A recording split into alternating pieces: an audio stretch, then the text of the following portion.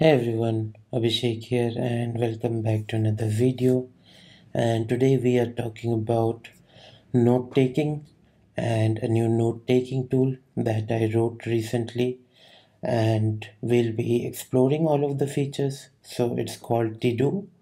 We'll be taking a look at its installation and then its usage. We'll also take a look at tdo.nvim which is a helper plugin that I wrote for NeoVim and if you use NeoVim I highly recommend that you set up tdo.nvim with tdo as well. So why another note-taking system first of all? My main reason for setting this up was to have a simple note-taking system that doesn't have a ton of features it simply lets me write notes and then later retrieve them.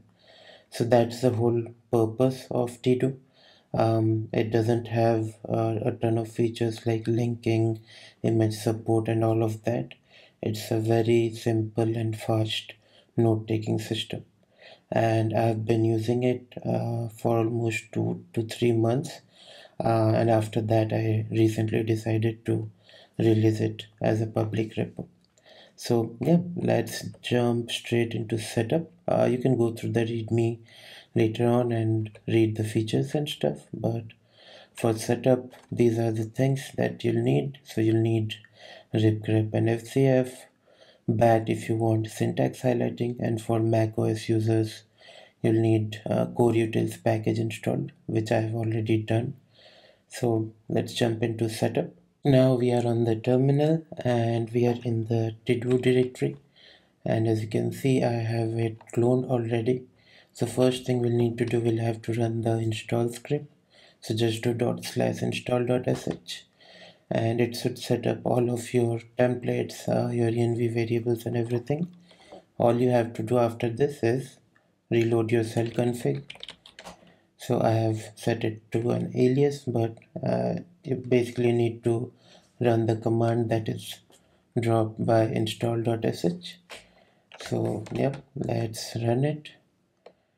We are done with the setup um, and all we need to do is simply run tdo and as you can see it opened up today's to do right? And if you check the path it is set to your node directory. So right now we have to do's and you have this nice structure. So year month and then file name. And you'll have three root directories uh, four including templates. So right now you have to do's uh, for journal entries it will create a entries folder and for notes there will be a notes folder. So let's change something over here and temporarily we'll say record youtube video. Right and here we can say edit and release right? Just temporarily um, you can set and this is by the way a template that uh, tdo sets for you. You can customize it according to your needs. So if you want to take a look at the template you come to this directory and here you have the templates that will be used for each of the node categories. Okay? So that was our main tdo command which lets you open today's to do and you can take a look at the usage if you want more info. So this will tell you all the different options that tdo supports. Another thing that tdo can help you with is uh, with journal entries. So if I just do tdo e or tdo entry it will open today's journal right? So you can mark stuff as completed. You can uh, write stuff. So write whatever you want right? And then every time you create a journal entry it will add some timestamp towards the bottom. So let's say add here. Now if I open to do again so it adds a new uh, journal entry. So you can actually use it while working throughout the day.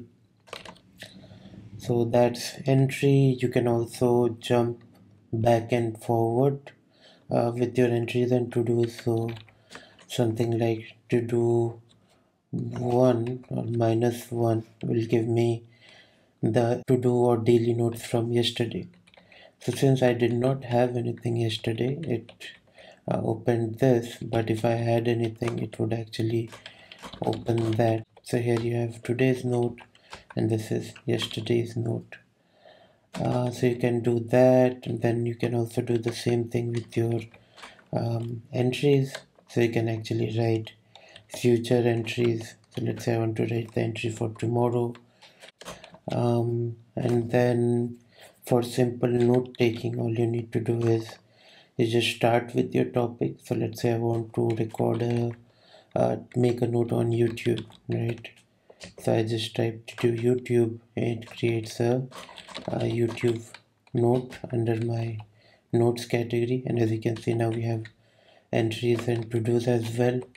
So here I can write um, record when it's quite out right? So this is uh, another way you can manage your notes. You can also categorize your notes. So you can do something like text slash vim um, you can do you can write your notes here you can save and then uh, if you go to your directory you can see that it has automatically categorized so notes now has a text folder and under that you have your vim note. Uh, it also has some more features like searching and navigating so let's say and if you can also do zettelkasten notes by the way. So if you just do to do n it will open a zettelkasten note and it will save it in the drafts folder. So you can do that too. And let's say if i wanted to look at all of my pending to do like to to do t or to do to do so let's to do t and then these are all of my pending to do's across the board tdo also has search integration. So if let's say I wanted to search for something like Vim I'd just type it and then you'd see the file and then the preview on the right.